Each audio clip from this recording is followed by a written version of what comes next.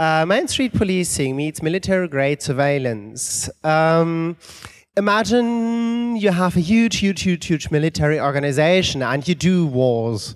And the wars end and uh, you can't leave your military equipment on site, on place, because someone else might use it for its own purposes.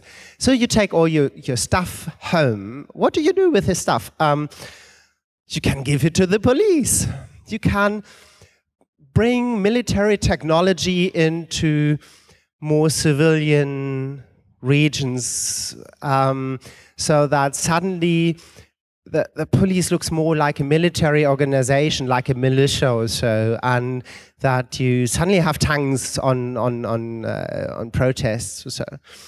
Uh, similar things happen with uh, surveillance technology that uh, when the war is over, the, companies want to sell, want to continue to sell surveillance technology. So whom do they sell? To the more civilian world. Funny and not so funny uh, idea.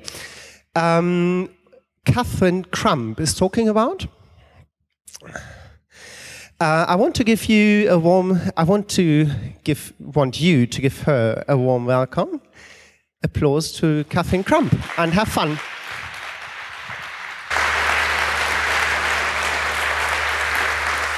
Thanks so much, and thanks for coming. You're the diehards who are still going to talks on the last day of camp. Um, I want to spend some time today talking about surveillance by local law enforcement agencies. We've spent a lot of time over the last few years talking about the NSA and the FBI. For good reason, Edward Snowden revealed a great deal of information about what those agencies are doing. But I think that for many Americans, the FBI seems pretty remote to them, and they can't imagine um, being subjected to surveillance by the FBI. But their local law enforcement, sorry, I'm getting a fair amount of feedback.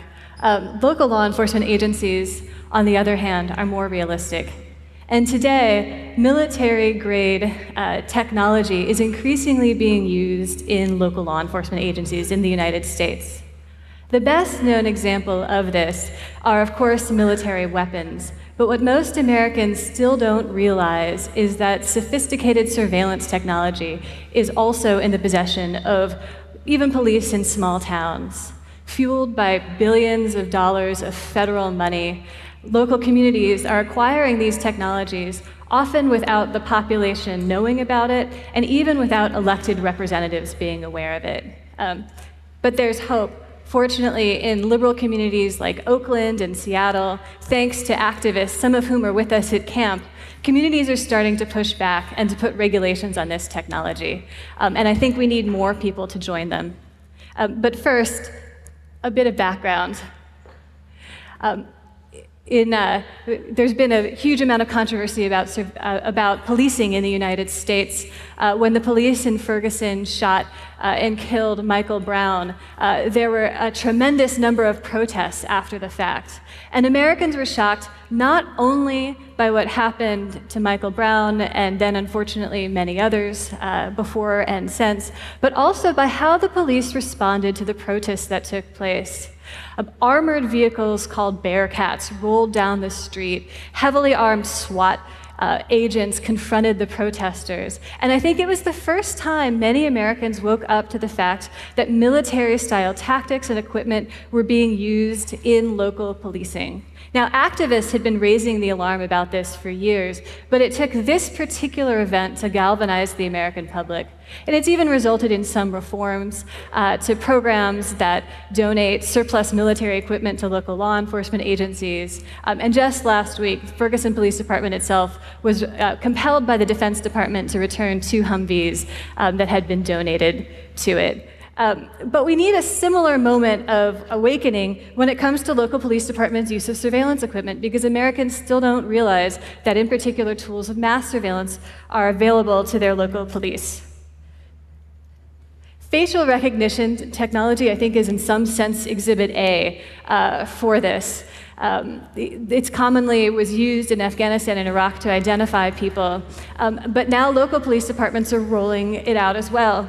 Um, the best example of this is actually San Diego uh, in California. Uh, San Diego uh, started working on facial recognition technology back in 2007, but it took six years uh, until the Electronic Frontier Foundation um, and the Center for Investigative Reporting uncovered the use of this program for anyone, even people who live in San Diego, to become aware of this. And what we learned was that not even elected officials realized that this type of technology was being uh, adapted. Uh, so I want to talk a little bit about it. The San Diego program is called TACIDS. Um, these slides that I'm going to show you, they aren't actually my slides. They're slides from an organization called ARJIS, which is a regional law enforcement collective in the San Diego area. Um, so TACIDS leverages a database of 1.4 million photos taken at local jails.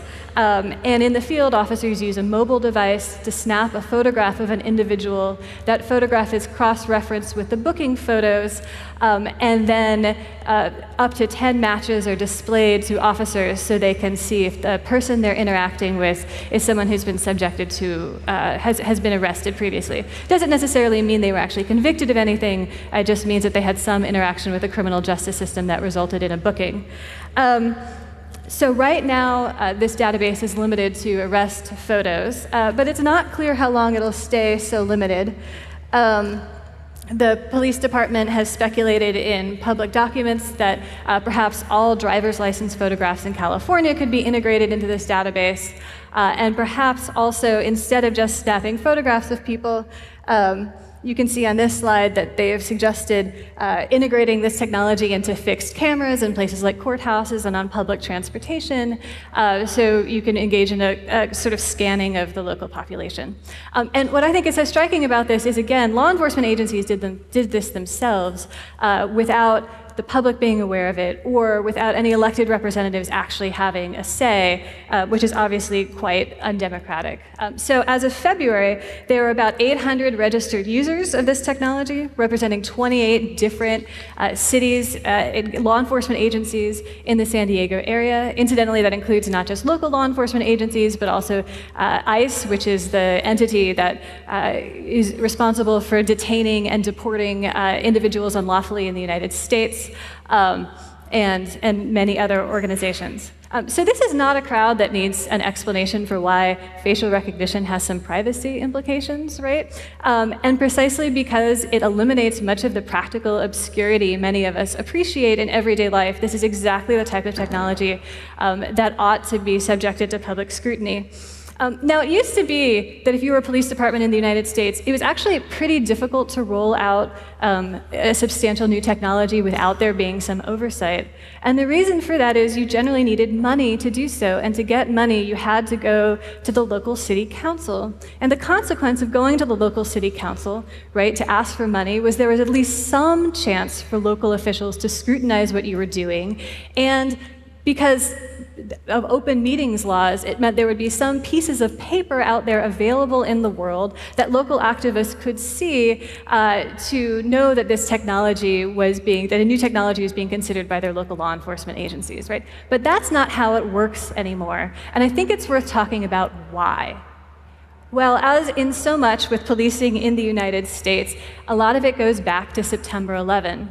Um, after uh, that tragic event, um, there was uh, something called the 9-11 Commission, which examined, which conducted a comprehensive examination of why the U.S. intelligence services didn't manage to uh, detect and deter this event before it occurred. Uh, and one of the primary conclusions that this entity drew uh, was that um, homegrown terrorism was actually a substantial risk in the United States, um, and that far more information needed to be gathered about um, individuals in local communities. Um, and this, I think, is where a lot of the drive to collect it all on the local level came from.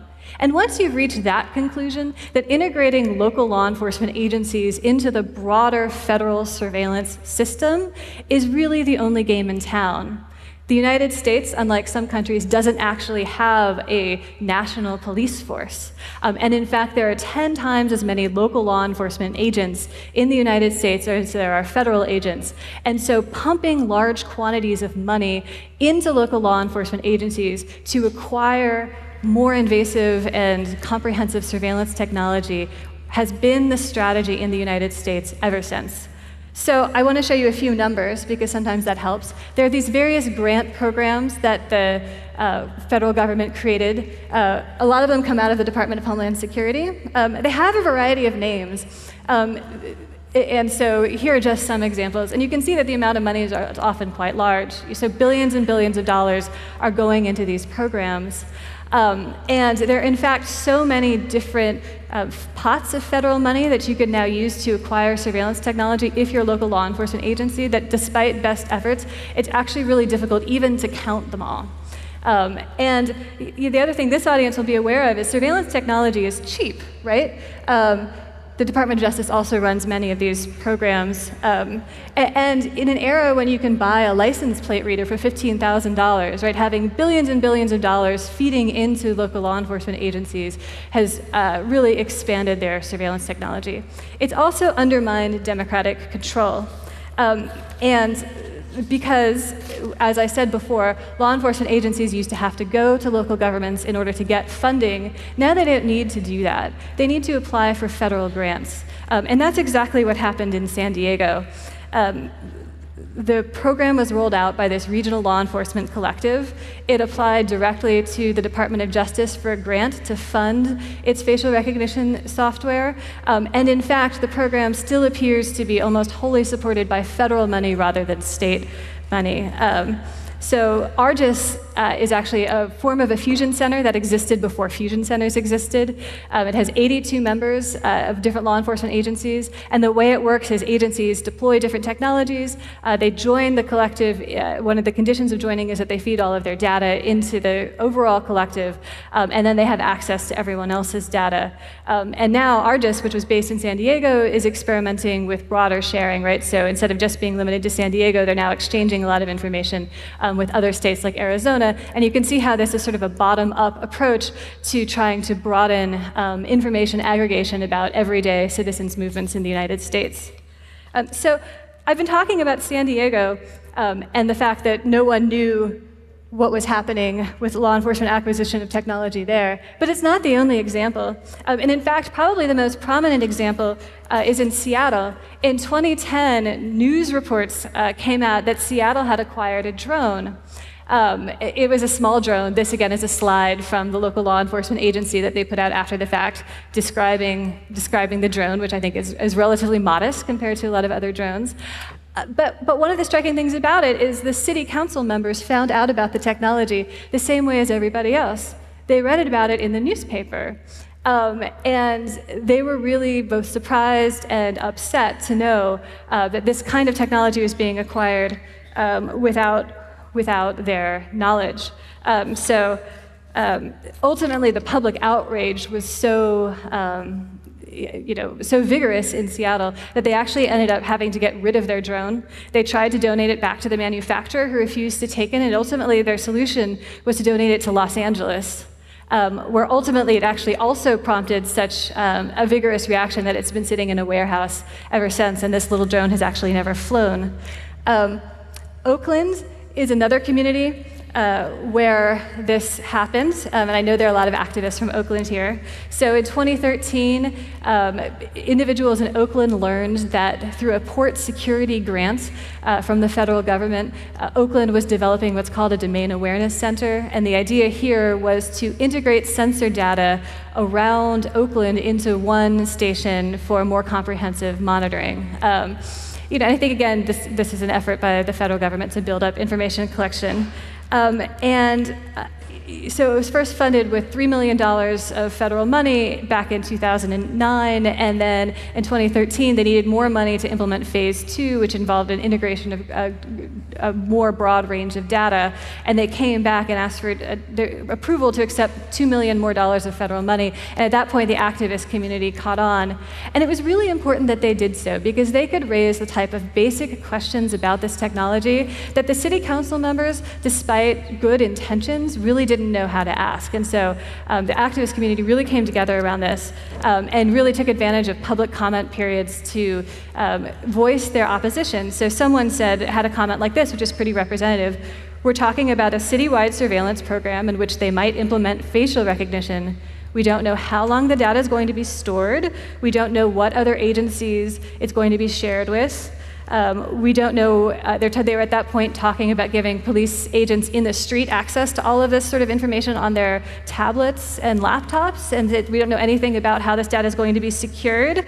Is it going to be available to any officer? to only a few officers, and the person ended by saying, There are so many unanswered questions that you really should put a stop to this until you've engaged in some sort of oversight. Um, and the city council in Oakland listened. Um, and responded to that, and ultimately, as I'll talk about later, and as Aesthetics talked about yesterday in a talk, um, really put some restrictions in place. I think there's something important to note about both the Seattle and Oakland examples, which is that um, they were both funded by federal anti-terrorism prevention grants, right?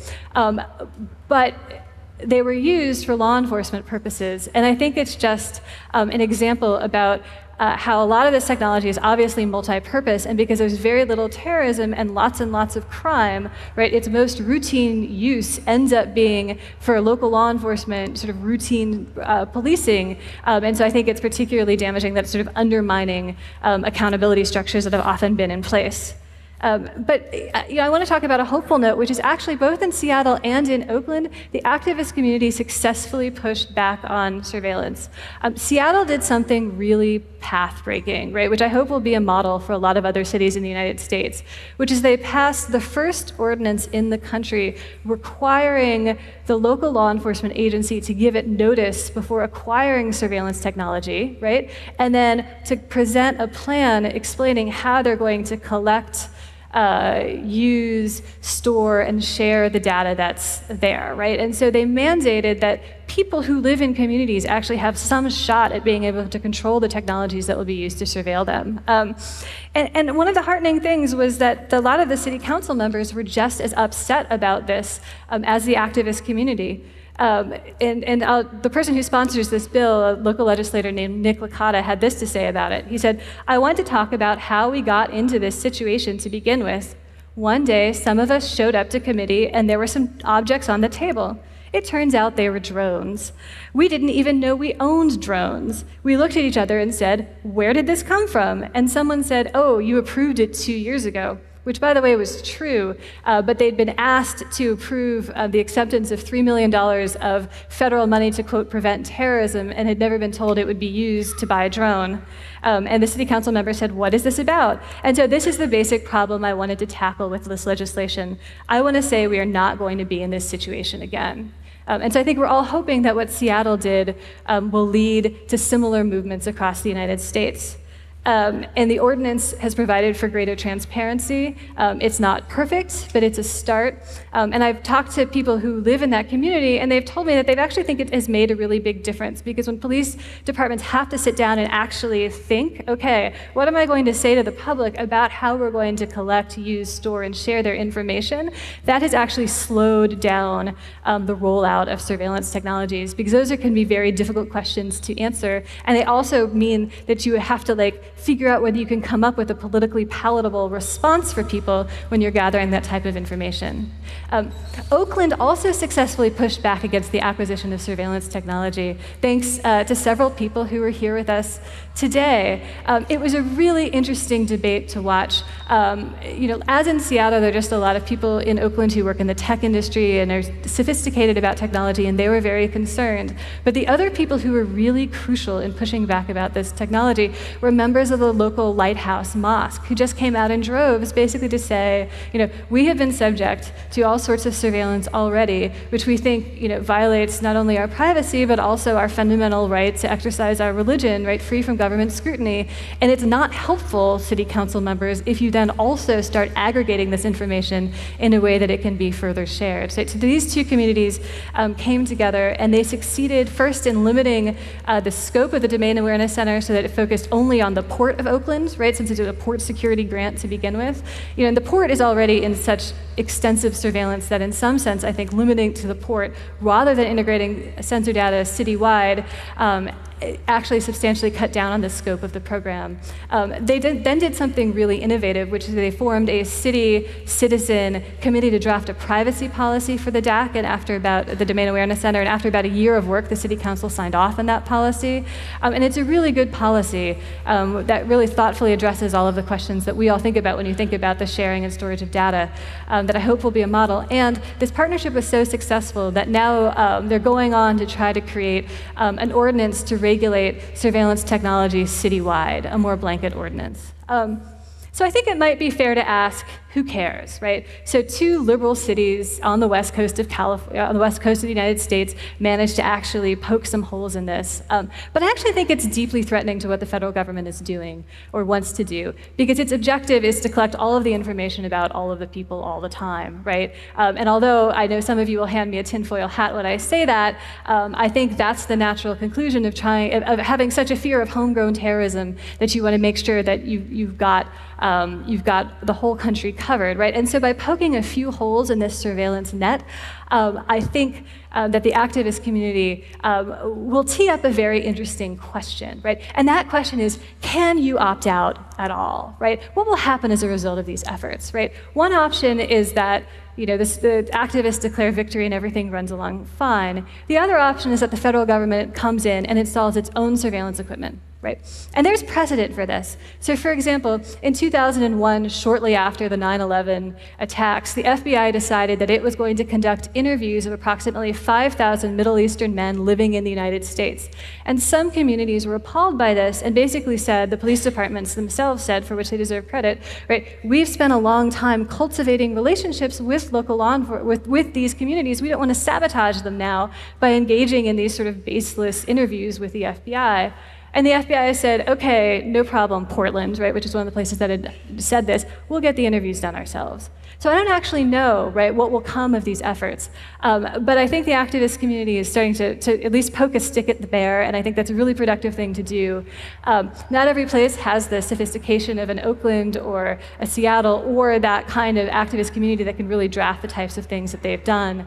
Um, and so my ultimate hope um, is that this is the beginning, right? Um, and that other communities can see what Oakland has done and can essentially copy paste those policies um, and use them in their own communities. Because I think if we can keep keep doing this, we may be able to affect some real change. Um, so with that, I'll stop and I'll thank you. Um, and I think it would be particularly interesting if folks who've actually worked on this in their communities wanted to say a thing or two about it. So thank you very much.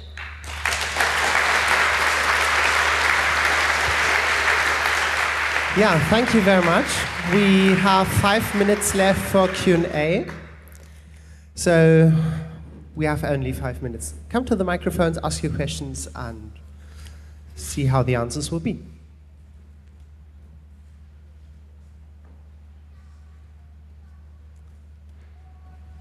Such an amazing topic.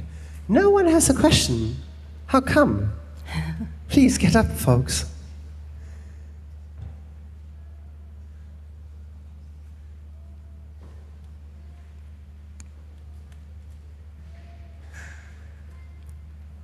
Yeah, great. Please, go ahead. You mentioned that these activists were in liberal, educated cities, and I'm curious how you see that coming over to places like Ferguson, where there aren't such activism communities around. Yeah, you know, I, I think Oakland really benefited from the tech community and the fact that there were people who could, who, who, who weren't thinking for the first time, gee, what kind of sharing restrictions should be put in place, right? So I, I mean, I think the best hope is that um, what they do ends up serving as models because places like Ferguson, you know, do especially now have activist communities. Um, but, but if we could find a way to bridge the gaps between activist communities, I think that would I think that would really help. And you saw that happening in Oakland, right, where you saw these public comment periods and 100 people would show up, right? You get really disparate communities there. Um, but I think I think some models is what we really need that can be implemented in other places that don't have the same knowledge base.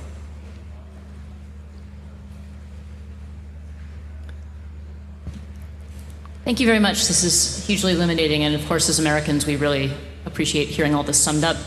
Um, I'm wondering whether there are sort of counterexamples. If, are there any cities where we're not seeing the pushback we should and things are really being rolled out? Um, yeah, what are the concerned cities, I guess? Yeah, I, I, mean, I think I think there's more of those cities, unfortunately, than there are of cities that have pushed back. Um, but it's because of the way this stuff gets adopted, right? The local law enforcement agency applies for a federal grant, they get the grant, um, maybe then they have to go to the city council. At that point, they're confronted with a bunch of free money. The city council signs off on it. The technology gets implemented, and we never hear about it again, right? Um, so, you know, overall, the picture is a little bit bleak. Um, but I think Edward Snowden um, has given us an opening here, right? And although his particular revelations were about um, spying by the NSA, um, what you see is city council members willing to be skeptical about surveillance efforts in a way that they weren't five years ago. Um, and so, um, you know, the fact that we're seeing these examples now of pushback, I think, is heartening. Yeah, please go go ahead. Hello, uh, thanks for your talk. Uh, what do you think? Um, will the democratical approaches to fight against such surveillance initiative help against the government which seem not to follow democratical rules? I think that's a fair question. If you believe that the government isn't going to follow the rules, then it probably doesn't matter what the rules are. Um, but I guess I'm, um, I'm not so skeptical about about every department as that. I think there are places where these things just haven't been um, put in place, and then if you have the right rules, the police departments will ultimately follow them. And what Oakland did actually was impose penalties for violating the rules, right? They created a, a requirement that individual citizens uh, had a private right of action to actually bring a lawsuit um, if the privacy policy they created for their domain awareness center wasn't followed. So um, I do think you know, maybe the courts are allies here.